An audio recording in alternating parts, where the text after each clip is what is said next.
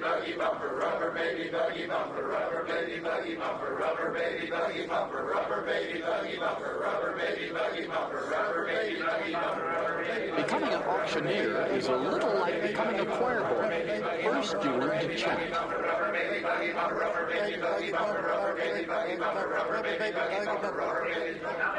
During their two-week course, the classes of 150 to 225 students at a time do the auctioneers chant in unison twice a day.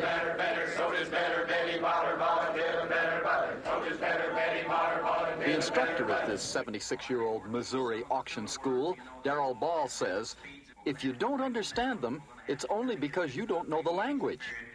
And the word math, of course, always goes right in there real easily instead of pronouncing the word half. As uh, I get 40, 40, quarter down, half, half, half, half, Hour after hour, the students will practice at the microphone, sharpening their tongues by trying to conduct a mock auction.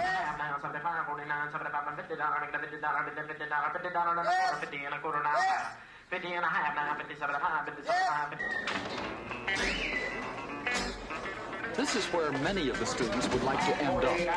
Cattle sales is one form of the auctioneering big time.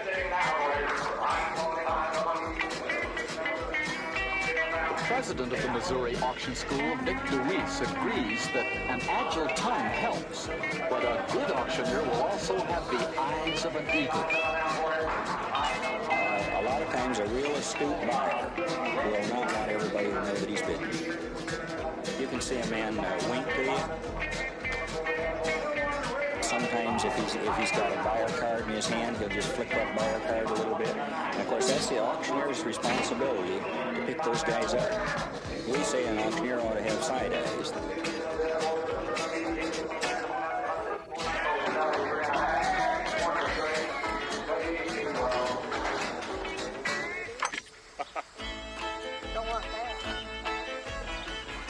One dollar and a half, quarter. Quarter, that one dollar and a half sold. As in any occupation, you have to work your way up. Before they complete the course, the students work a local country auction where the stakes are low and the merchandise is of the garage sale variety. Sold, 150,